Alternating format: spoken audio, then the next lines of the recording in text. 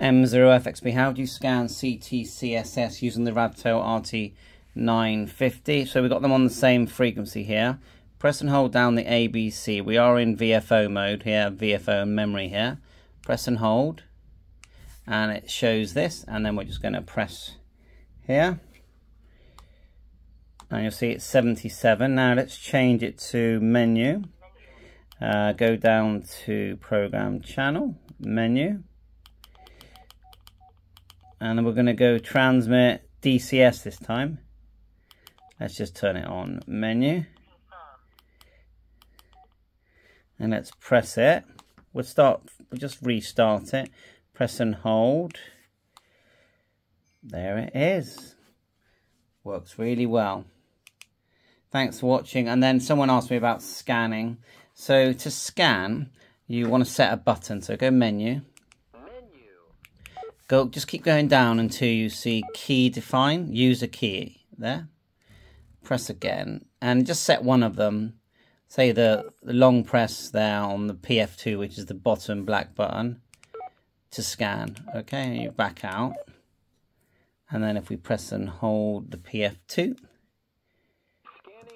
it's scanning and then you can set the step to how, you know, how much of a gap you'd like in the frequency press the back to stop. If you want to set the step, just go menu, VFO channel, and then uh, step. Okay, let's do 2.5, select. You've got other settings there. You can actually change to AM, but it won't transmit. Channel memory, channel delete. Okay, so VFO mode, and then we're going to press and press and hold the P2, PF2 and it's now scanning 2.5 okay? Interesting how it hasn't zeroed off. Did you notice that? So I think the way you would do that is go one four five. Put all the zeros in and then scan. So that's the little bug there. Otherwise now it's working fine. Interesting and one last thing is if you press go into memory mode normally if you press and hold the scan look so there's another bug there, so that needs sorting. That um, when you try and scan in memory mode, if someone wants to tell Radtel, uh, it's not letting you, but it will because every other radio I know does. When you when you go into scan, it will. Even the look at this, the if we press and hold on the mini, look, it's searching.